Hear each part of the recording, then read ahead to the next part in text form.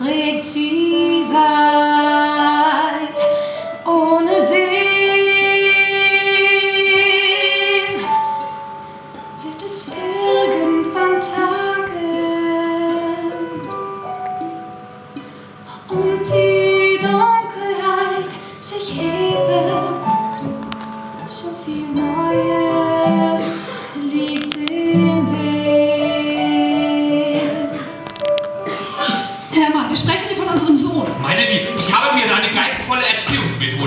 15 Jahre lang schweigend mit angesehen. Wir haben dem Jungen jegliche Freiheit gelassen.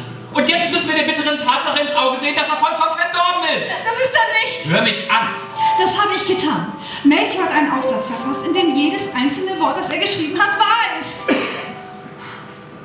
Haben wir solche Angst vor der Wahrheit, dass wir uns in die Reihen der Feiglinge und Dummköpfe stellen wollen? Soll dieses harmlose Vergehen als Beweis gegen ihn gelten?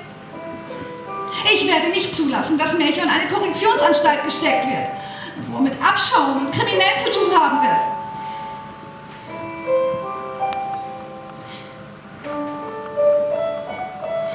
den Vater stumm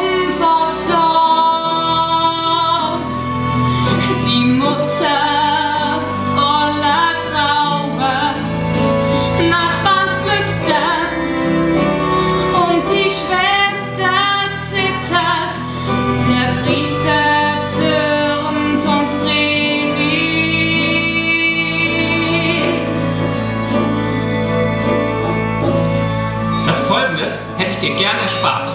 Heute Nachmittag kam Frau Bergmann zu mir und brachte mir einen Brief, den Melchior ihrer Wendler geschrieben hat. Und in dem er ihr mitteilt, dass er nichts von dem bereut, was auf unserem Heuboden geschehen ist. Das ist unmöglich. Und dass es sich danach sehnt, dieses Paradies wiederzufinden.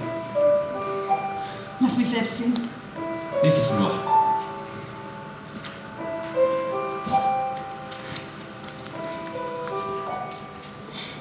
Sünderin,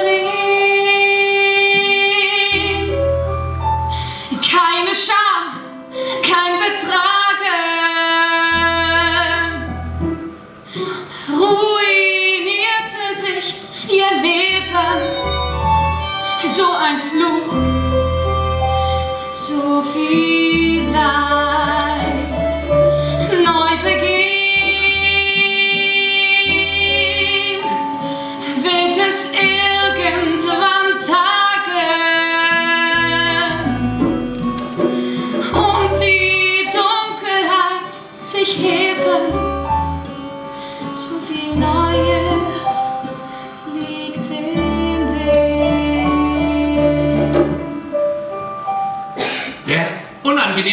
Tatbestand ist, Melchior wusste ganz genau, was er tat.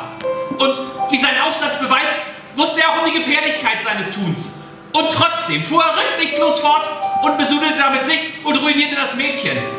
Und jetzt sage du mir, Fanny, was sollen wir tun? Was du für richtig hältst. Die Korrektionsanstalt.